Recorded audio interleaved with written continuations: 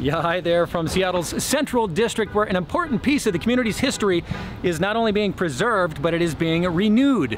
The fire station behind me, built in 1908, it is historic, but arguably served a bigger purpose for a long time. And now the Community Food Bank and Resource Center is back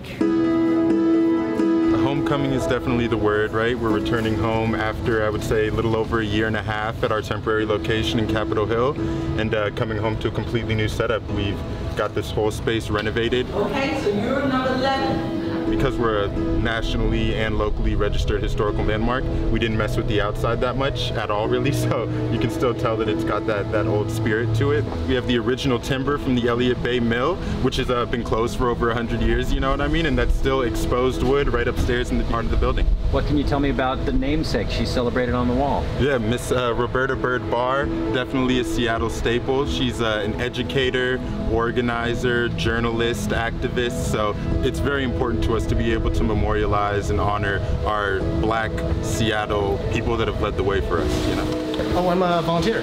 Uh, I've been with Byrd Barr for a year and a half now. You know, there's a delivery this morning, I think oftentimes from a farmer's market or a local co-op that brings in the freshest produce that is, it's incredible. It's uh, really high quality, really lush colors. The it's vibrant. Mm -hmm. It's really, really a treat to be able to offer. So the food bank uh, titled the market now. You know, we have the canned goods, we got some tuna, some chicken and whatnot, but then we have fresh salmon that we got in today. They have options available to them, right? We're really coming from a mindset of abundance.